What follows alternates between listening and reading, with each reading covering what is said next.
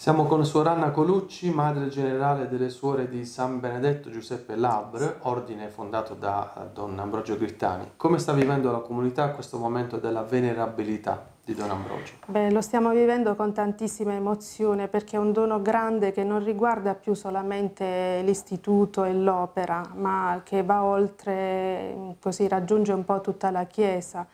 E questa emozione ci viene anche dal fatto che ci siamo molto preparati a questo momento. Abbiamo vissuto un itinerario in preparazione alla causa e a questa attesissima firma del Santo Padre sul decreto, un cammino che è stato di approfondimento degli scritti di Don Ambrogio, di preghiera, con un gruppo costituito che abbiamo mm, così denominato il Movimento degli Amici di Don Ambrogio Grittani, ci siamo ritrovati mensilmente per eh, studiare proprio gli scritti, per pregare questi scritti, capire la sua spiritualità, entrare dentro la sua anima e dentro i suoi progetti. Suor Anna, se dovessi sintetizzare in una definizione Don Ambrogio, come lo definiresti? Per me Don Ambrogio è una bellissima persona. Io sono entrata in dialogo con lui e sento che è una persona di cui non posso fare a meno che è maestro di vita, è l'ago della bilancia, è ciò che dà significato alle cose che faccio. È... Scusami, e tu personalmente come hai incontrato questa vocazione, questo carisma? Il Signore mi ha condotto alla provvidenza, non l'ho scelto perché lo conoscevo, quindi attraverso un sacerdote conoscente che eh, faceva pastorale qui all'opera, eh, ho conosciuto l'opera, ho conosciuto Don Ambrogio. Però particolarmente l'ho scoperto quando ho dovuto fare la mia tesi eh, presso l'Istituto Superiore di Scienze Religiose.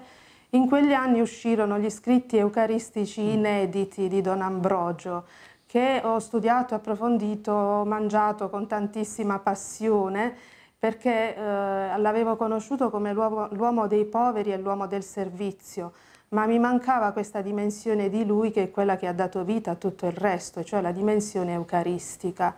Don Ambrogio ha fatto dell'Eucaristia tutta la sua esistenza e eh, leggiamo che ha trascorso anche le notti in adorazione, che durante la celebrazione eucaristica lui arrivava anche a piangersi, a commuoversi profondamente e quindi ha chiesto alle oblati, a tutti i seguaci, no, gli collaboratori, di vivere una vita eucaristica a servizio dei poveri.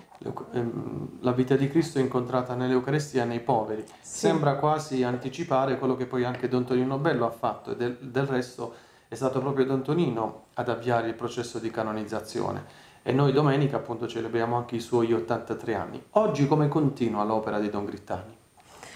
eh, continua eh, diciamo, nella misura in cui desidera portare eh, quella dimensione di carità eucaristica nel vissuto quotidiano e concreto del servizio agli altri. Noi abbiamo alcune case che ospitano anziani, allora eh, noi abbiamo voluto dare eh, famiglia a questi anziani sollevando un po' la difficoltà eh, delle famiglie lavoratrici, diciamo.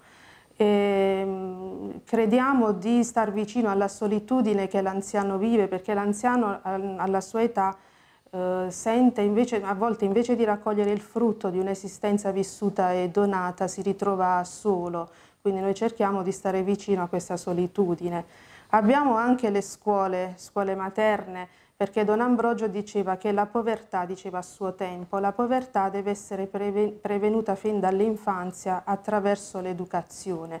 Quindi gli anziani, eh, c'è un'opera a Molfetta e a Terlizzi anche? E anche a Maruggio. Ah, anche a Maruggio. Sono tre case in cui ci dedichiamo agli anziani.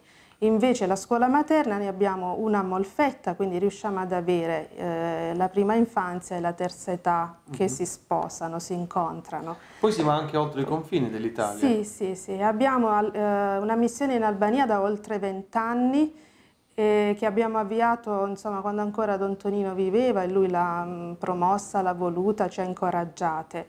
Lì la, eh, il servizio è prevalentemente educativo. E da pochi mesi siamo sbarcati in Africa, in Nigeria, sì, con sì, il progetto sì, Ubakala. È un paio di anni che siamo noi presenti in Nigeria perché intendiamo costruire un piccolo ambulatorio di maternità e anche di pediatria per sollevare la vita che nasce e accompagnare la vita che cresce perché poi ci sarà anche una piccola scuola materna.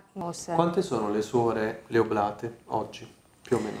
Sì, noi non siamo tante, siamo uh, una ventina e però abbiamo sei case che con sacrificio ma con tanta passione e tanto amore riusciamo a portare avanti perché eh, siamo, io credo, innamorate di Don Ambrogio e la forza di eh, andare avanti, di portare avanti questi luoghi di servizio e la nostra missione la attingiamo proprio da lui. E dopo la venerabilità, per la beatificazione ci vuole il miracolo. C'è sentore sì. di segni di particolare oppure bisogna pregare molto ancora? Bisogna comunque pregare, pregare. molto, pregare anche il cardinale quando siamo andati in visita ci ha detto questo, conoscetelo e fatelo conoscere, pregatelo e fate pregare. Però, insomma, eh, qualche piccolo segnale ce l'abbiamo e lo stiamo valutando. Non dimentichiamo che Don Ambrogio ha collaborato con Luce Vita nei suoi anni di presenza a Molfetta e noi questo piccolo contributo di riflessione attraverso il numero speciale ma anche altri articoli e servizi cerchiamo di darlo per far conoscere questo grande carisma. Tanti auguri. Grazie.